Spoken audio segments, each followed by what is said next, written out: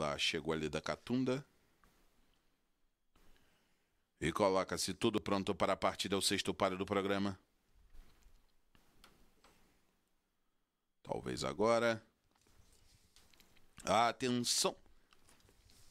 Foi dada a partida para o sexto páreo do programa largou com atraso a fotocópia e Pleiade sobrou para a última colocação.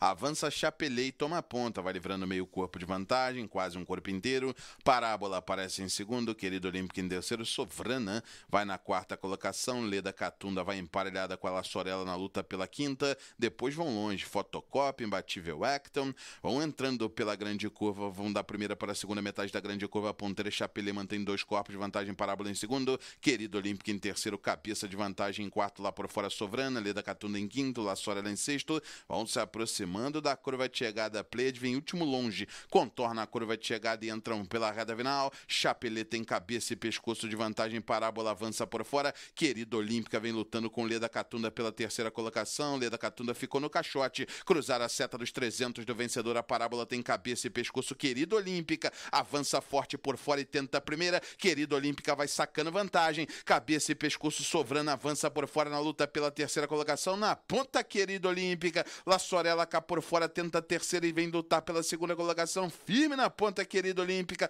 Avança cá por fora, Sovrana. Tomou a segunda. Cruza uma faixa final, querida Olímpica. Sovrana, Parábola.